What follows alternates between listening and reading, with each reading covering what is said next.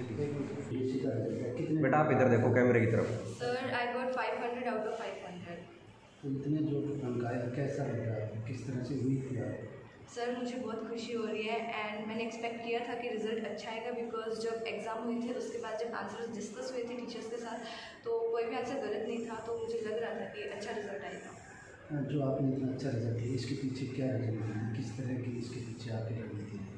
Sir actually मैंने hard work किया उसकी वजह से हुआ और टीचर्स ने भी काफ़ी हार्ड वर्क किया हमारे साथ टीचर्स ने सपोर्ट किया अच्छा गाइड किया उन्होंने। हमें स्कूल में काफ़ी अच्छे असाइनमेंट्स प्रोवाइड किए जाते थे जिससे हमें बहुत मतलब हेल्प मिली एग्ज़ाम टाइम पे और स्कूल से काफ़ी सपोर्ट रहा था पेरेंट्स ने काफ़ी सपोर्ट किया। जो आपकी सफलता है किसे सर इसका श्रेय मैं मेरे पेरेंट्स और मेरे टीचर्स को दूँगी पेरेंट्स ने हमेशा बहुत सपोर्ट किया। वो जब भी डिमोटिवेट होते थे वो मुझे मोटिवेट करते थे।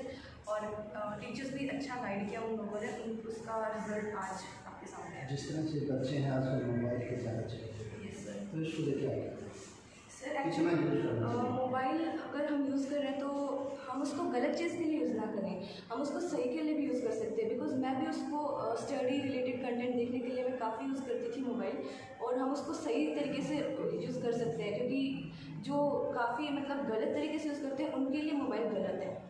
आपने जिस तरह से नंबर प्राप्त किए हैं तो ये प्रेरणा कहाँ से मिली कि मैं भी अच्छी बनूँ सर जब मतलब मैं एट नाइन्थ में थी तब हम टॉपर्स को देखते थे कि उसके इतने आने हैं उसके इतने आने तो हमें भी लगता था कि मुझे भी लेना है।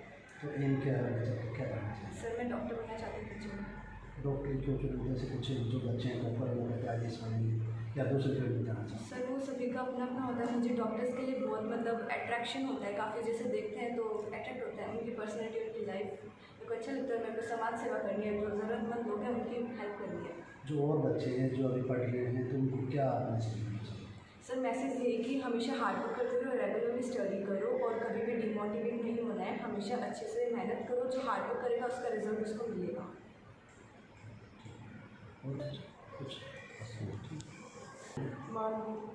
कितने मैंने नाइन्टी 99 परसेंट कौन से स्कूल पब्लिक स्कूल जिस तरह से आपने जो रिज़ल्ट आया क्या उम्मीद थी इतनी आगे या इससे ज़्यादा?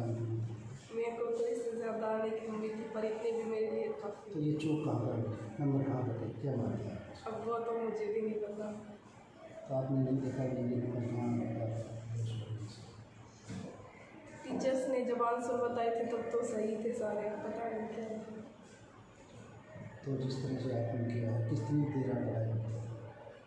मैं घर जाके रेगुलरली रोज़ जो भी काम करवाते थे उसको रिवाइज करती थी। कितने घंटे आपने पढ़ाई की? तीन से चार घंटे। अच्छा। तो क्या एम क्या है? आगे तो क्या बनना मैं आई एस ऑफिसर बनना चाहती हूँ। तो आप जो अभी जो इस तरह की सफलता प्राप्त किसे से देना चाहते हैं? मैं अपने पेरेंट्स को और टीचर्स को। जिस तरह कहा जाता है ग्रामीण क्षेत्र के अंदर माहौल नहीं होता पाता है एजुकेशन तो इसको लेकर क्या है? नहीं ऐसा कुछ भी नहीं है बल्कि ग्रामीण क्षेत्र में ज़्यादा अच्छे से पढ़ाई होती है। जिस तरह से देखने जितने भी जो टॉपर हैं सभी छात्राएँ हैं इनमें एक भी छात्र नहीं तो इसको लेकर आप क्या मानते हैं कि पढ़ाई को लेकर छात्र ज़्यादा है? अब लड़कियाँ जैसे धीरे धीरे आगे बढ़ती जा रही हैं लड़के पीछे होते जा रहे हैं। तो लड़कियों को जैसे पहले बहुत वो करते थे इसलिए अब लड़कियाँ आगे बढ़ती जा रही हैं। तो जो वो विद्यार्थियों में क्या मैसेज है कि अच्छे से जो भी काम करवाया जाए उसको रेगुलरली घर जाके रिवाइज करें। और अपना सेल्फ स्टडी करें। एम क्या है मैं आई एस ऑफिसर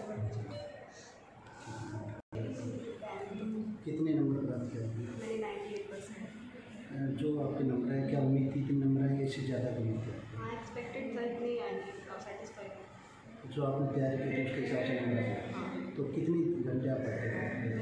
आवर तो क्या है क्या बनना चाहिए मैं आई आई टी बनना चाहती हूँ इसमें बनना चाहती हूँ जो और बच्चे हैं क्या मैसेज देना चाहिए? कि अपना काम के बाद रेगुलर काम करना चाहिए जो हैं वो रेगुलर करना चाहिए?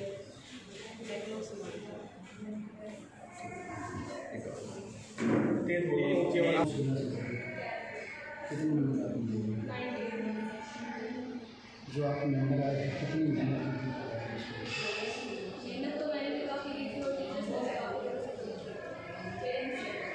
तो क्या आपको जो उम्मीद थी नंबर एक का नंबर है? तो आप कहीं आइए सुबह सुबह बोलना चाहिए